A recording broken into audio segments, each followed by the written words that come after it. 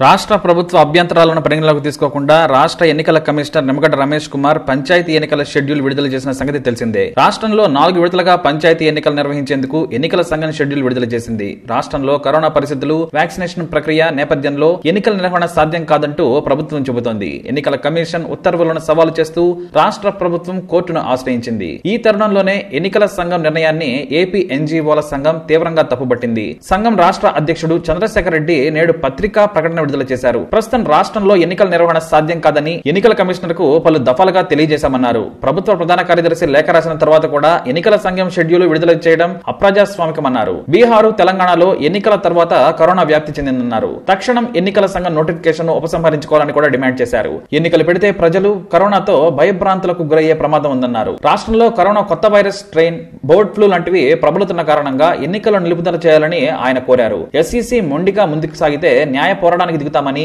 ఎన్నికల విధులు బహిష్కరిస్తామని కూడా ఆయన తెలియజేయడం జరిగింది. కక్ష సాధింపు చర్యల్లో భాగంగా ఎన్నికల కమిషన్ షెడ్యూల్ విడుదల చేసిందని ఆరోపిస్తున్నారు ఉద్యోగ సంఘాలు. కాగా నాలుగు దశలుగా ఏపీలో స్థానిక సంస్థలకు ఎన్నికలు జరగనున్నాయి. ఈ నెల ఇరవై మూడు తొలి దశ ఎన్నికలకు నోటిఫికేషన్ విడుదల కానుంది. ఈ నెల ఇరవై ఏడున రెండవ దశ ఎన్నికలకు ఈ నెల ముప్పై ఒకటిన మూడవ దశ ఎన్నికలకు ఫిబ్రవరి నాలుగున నాలుగో దశ ఎన్నికలకు నోటిఫికేషన్ విడుదల కానుంది. ఫిబ్రవరి ఐదున తొలి దశ పంచాయతీ ఎన్నికలు ఫిబ్రవరి తొమ్మిదిన రెండో దశ పంచాయతీ ఎన్నికలు ఫిబ్రవరి పదమూడున మూడో దశ పంచాయతీ ఎన్నికలు ఫిబ్రవరి పదిహేడున నాలుగో దశ పంచాయతీ ఎన్నికలు నిర్వహిస్తామన్నారు